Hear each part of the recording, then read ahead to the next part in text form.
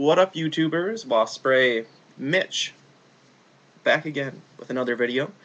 Uh, today is a way different video than I've ever done before. Um, it's kind of more of a sad video. Um, the reason I'm doing it is because this uh, person that passed away was very important to me, and it's not a family member or anything like that. So, but they gave me a lot of memories as a child. I'm sure they gave a lot of you guys, um, even people in the gaming community, a ton of memories as a child.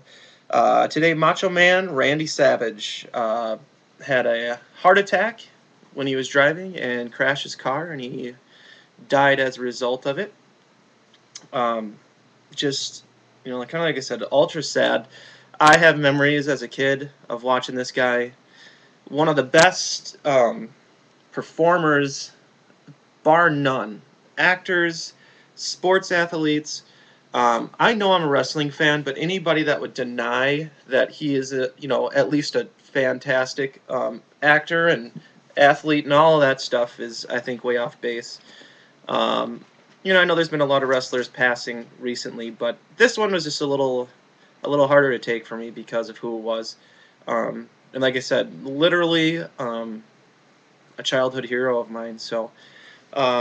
We'll miss Randy Savage. Uh, we'll keep his memories strong, and we'll remember the um, the promos, the costumes, the the elbow drop off the top rope, which is you know goes down in history as one of the most iconic wrestling moves out of all time, even though it's basic.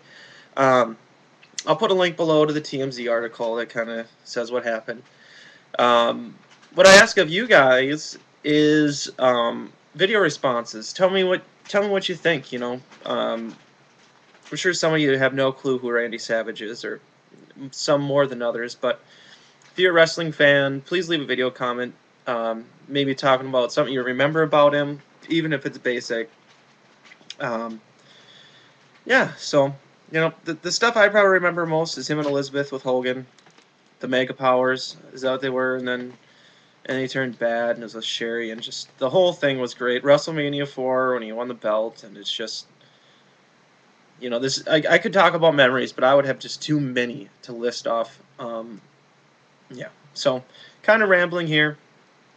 Sorry for the sad news, but um, you know I'm not going to be doing videos on passings of of all sorts of people, but Randy Savage, man, you know, like I said, memory is a hero of mine when I was a kid. It's just we will miss the guy. I hope he's recognized on Raw and SmackDown this week. Um, we'll see. But yeah, please feel more than free to leave a, a, video response below or at least a comment. And that's all I got for you today. Um, hopefully I'll be back soon with, um, I hope something a little bit more positive, a little bit better. So thanks a lot, you guys. See you later.